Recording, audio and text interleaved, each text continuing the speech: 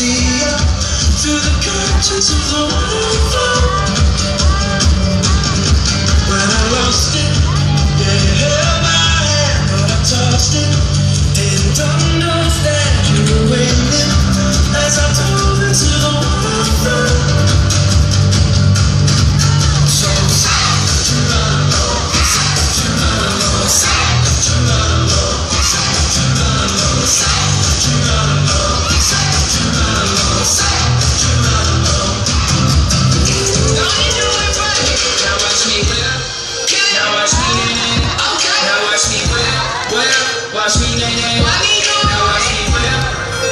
watch me. Okay. Now watch me watch me.